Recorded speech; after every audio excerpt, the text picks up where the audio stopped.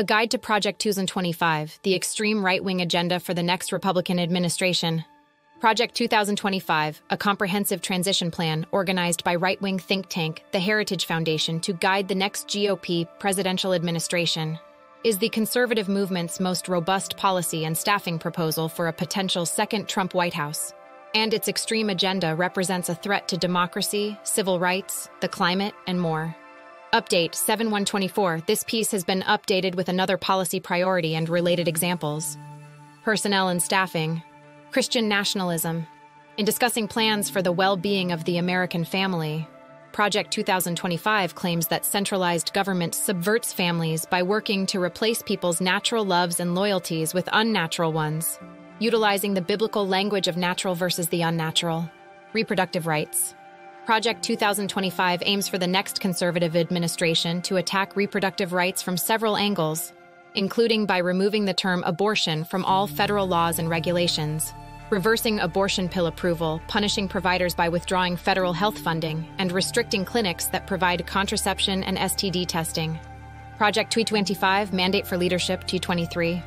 In a report detailing Project 2025's proposed crackdown on reproductive and LGBTQ rights, the New Republic writes that Heritage recommends the next conservative administration direct the CDC to eliminate programs and projects that do not respect human life and conscience rights and that undermine family formation. Politico 12924, Project 225, Mandate for Leadership 2023, Department of Justice and Federal Law Enforcement. Now, Project 2025 seeks to radically reshape federal law enforcement for the benefit of a conservative strongman. Its chapter by former Trump DOJ official Gene Hamilton states that Anything other than a top to bottom overhaul will only further erode the trust of significant portions of the American people and harm the very fabric that holds together our constitutional republic. These views reflect the various conservative legal organizations that have partnered with Project 2025, such as former Trump advisor Stephen Miller's America First Legal, where Hamilton currently works as vice president and general counsel, Carrie Severino's Judicial Crisis Network, and the American Center for Law and Justice. Project 225, Mandate for Leadership 2023, Rolling Stone 12723.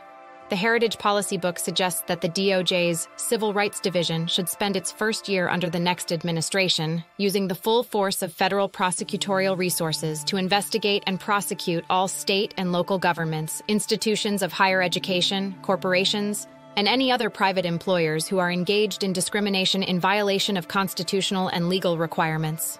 LGBTQ rights, Climate change. The Guardian 72723 E&E News 22624. Immigration, education, diversity, equity and inclusion, DEI.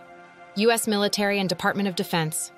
A section proposing actions to restore standards of lethality and excellence suggests that the military remove exceptions for individuals who are already predisposed to require medical treatment, for example, HIV positive or suffering from gender dysphoria from entrance criteria that currently allow them to serve.